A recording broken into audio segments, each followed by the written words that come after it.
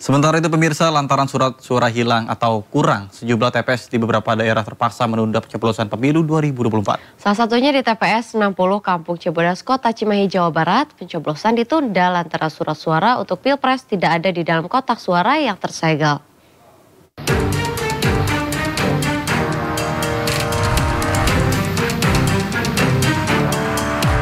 Aktivitas pencoblosan pemilu 2024 di TPS 60 Kampung Cibodas, Kelurahan Utama, Kecamatan Cimahi Selatan, Kota Cimahi, terpaksa ditunda lantaran logistik surat suara presiden dan wakil presiden tidak ada di dalam kotak suara yang tersegel. Saat diperiksa, sebanyak 225 surat suara pilpres di dalam kotak suara hilang. Pihak PPS pun menangguhkan pencoblosan untuk empat jenis surat suara lainnya. Jadwal pencoblosan di TPS 60 ini akan diputuskan lebih lanjut oleh pihak KPU.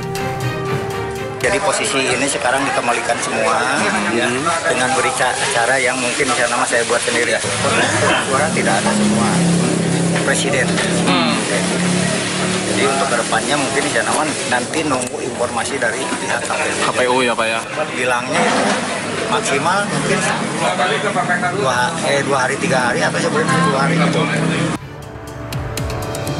Sementara ratusan warga yang semangat hendak menggunakan surat suaranya di TPS 005 di Desa Sugiwaras, Kecamatan Ngoro, Kabupaten Jombang, Jawa Timur, terpaksa kecewa karena pencoblosan dihentikan.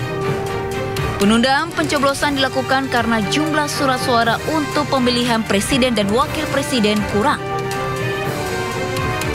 Dari Bandung, Jawa Barat, dan Jombang, Jawa Timur, tim iNews melaporkan.